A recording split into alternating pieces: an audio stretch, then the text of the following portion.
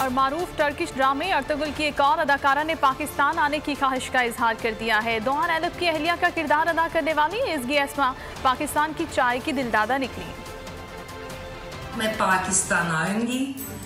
क्या आप मुझे चाय पिलाएँगे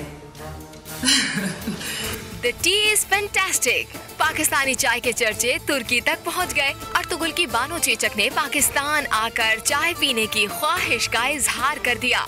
जब मैं पाकिस्तान आऊँगी, क्या आप मुझे चाय पिलाएँगे बरतानवी जरीदे दी इंडिपेंडेंट से गुफ्तगू करते हुए एसगे इस्मा का कहना था कि पाकिस्तान के लोगों और उनकी सकाफत से बहुत मोहब्बत करती हूँ। पाकिस्तान और तुर्की के आवाम बिल्कुल एक जैसे हैं। मुझे पाकिस्तानी शौकीन के मोहब्बत भरे पैगाम मौसूल हुए, जिसके लिए मैं तहे दिल से शुक्रगुजार हूँ।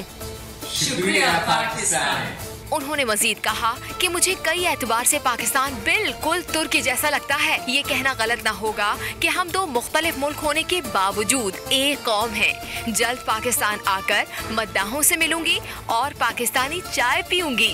जब मैं पाकिस्तान आऊँगी, क्या आप मुझे चाय पिलाएँगे